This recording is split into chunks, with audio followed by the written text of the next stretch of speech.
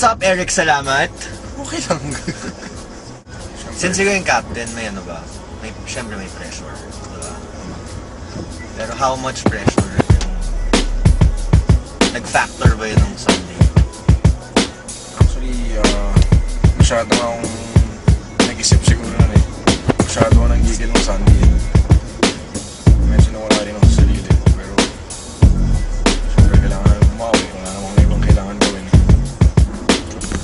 talaga yung yung key kahapon talaga yung defense talaga namin kaya siguro hindi rin sila lumayo eh. So, pero syempre, hindi rin masyadong nag-produce si Jer Kawaling. So, hindi natin masabi, di ba? Alam naman natin, FU talaga, sobrang talented yung team na yun. Who played well for you? So, yung mga rookies yung nag-step up eh. Art. Art de la Cruz.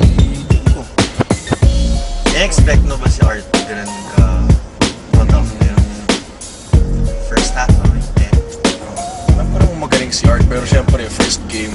Saka, yun, rookie din siya, di ba? Did he talk to the rookies? Sinabi ko sa kanya bago ng game, sabi ko sa kanya na, Art, uh, first game mo, huwag mong masyadong magigil. So, uh, laruin mo lang yung laro mo nung parang nasa San Beta ka pa. So, okay naman, sabi ko, dito lang ako.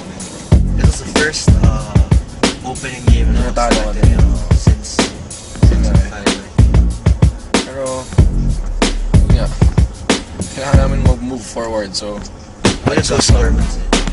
yun nga, na walang muntik ng nanalo. Walang ibig sabihin. It's either nanalo talaga. Kita ko talaga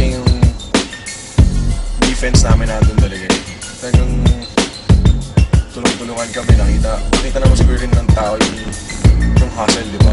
Okay talaga yung depensa namin. Talagang medyo minaras lang din, din talaga yung outside shooting namin.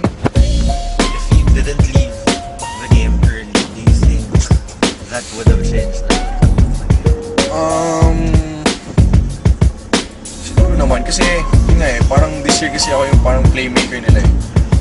Uh, off season siguro masasabi ko ako yung parang leading assist man ng team. So feeling ko naman kung siguro